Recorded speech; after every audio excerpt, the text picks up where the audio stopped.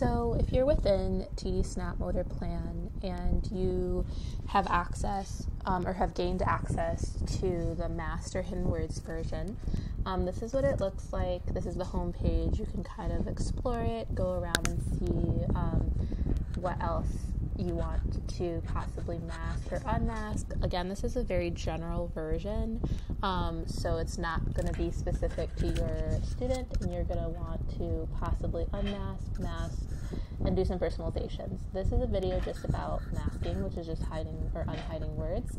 There's a separate video about personalization. So, if you're within this, one of the biggest things that was um, almost impossible for me to mask or personalize is within the food and drink, there's a lot of different things.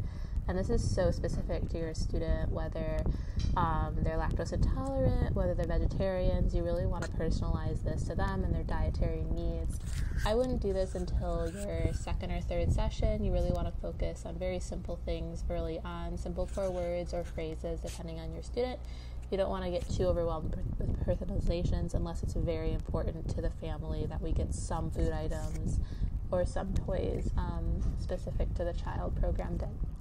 So um, you want to click on the page that you want to personalize, and you can see um, within TD Snap Motor Plan the way you hide or unhide things is using the filter. And you can see this, the vocabulary filter. And You can see this in the top right hand corner. Um, it's a little filter that is green. It kind of looks like the filter that you use um, in the kitchen when you're moving one um, liquid to another container using the filter so things don't spill everywhere. It's kind of that idea where you're filtering the vocabulary so you can learn things slowly without it overflowing um, in your brain. That's kind of like the the only thing I can think of to describe it. Um, it's going to be, you'll see the little pencil with the gear, there's a little cloud, a little light bulb, but um, then the last thing in the right hand corner is that filter. And you'll see that it's green because it's filtering some of the vocabulary. So when you press on it, you can see that one of the things that I had hidden for some odd reason is nuts. Um, I think I was doing a video for somebody and I totally forgot to unhide this. So, for example, that's something that you might want to personalize or mask. And um, if they are um, allergic to nuts, you might just want to hide this. You see that it's grayed out when it's hidden. Um, and you can go through here and like hide certain things that you want to personalize within here, unhide whatever you want to do. Um, to personalize further, you want to make sure to go um, to my personalizations video. But you can see that the vocabulary filter is on. You can just as easily turn it off and it will tell you, and all the words will show up. But you want to keep it on in this case. So when you go back to the home, um, let's say this is, um, you still want to use a few less words initially. Um, you would go up to that filter option and you can gray out more. Like, let's say you don't want to have those pronouns in there or um, work on any of these core words initially, feel free to gray more stuff out um, and unhide things as appropriate for your specific student. Um, when you're done, click done, and you'll see that um, I unhid those words and hid them again.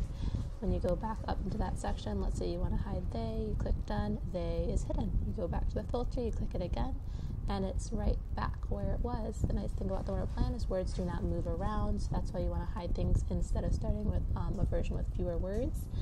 Um, the other um, nice thing that you're going to want to do is make sure that you're going through some of these categories that are purple in the right hand side. They're again still organized using motor plan, but these are very specific to specific students, and I tried my best um, to personalize it. For example, school has a lot of preschool. I just hit all the ones that aren't preschool words. But if your student is not in preschool, you can totally go into more things, go to the filter, um, and hide those words. So, how you hide wor- lots of words within um, a section is you want to go to the section that you want to hide, and so you'll see that in the bottom right or bottom left hand corner, you'll have remove, you'll also have add, and so what you want to do is you want to click um, remove all words on this page, and I'll give you this example. When you click done, you'll see that when you go to more things, school has now disappeared from that section. If you want to add it back, you go back to the filter, click on school, and click on, you can go and add all the words on this page, or um, a lot of these don't pertain to our age group, so I usually remove um, all the words on this page, or you can also do remove all the words on this page in linked pages, and so that means that like language arts, math, all that stuff, if you're removing the ones on the linked pages, it'll remove those as well. Um, and you see they're already grayed out, so I don't have to do that. So I'm just going to remove all words on this page.